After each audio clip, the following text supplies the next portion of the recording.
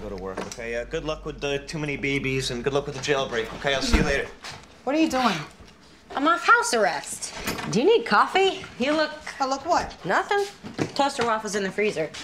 I've been watching the clock, counting the minutes till I can open the alibi and watch Frank drink his way through someone else's liver. That's fun for you, is it? Does it make me a bad person that I'd rather be selling cheap booze to barflies than spend time with my twin spawns of Satan? Spawns of Satan? Really? Do you think I'm a bad mother? Did you leave either kid on the porch last night where you were going on a drug run? And compared to what I grew up with, you're an excellent mother. Ah! Ah! what? What? What, are you too, too tired to jump up and down with me? Yeah, but if it helps, this is my happy face now.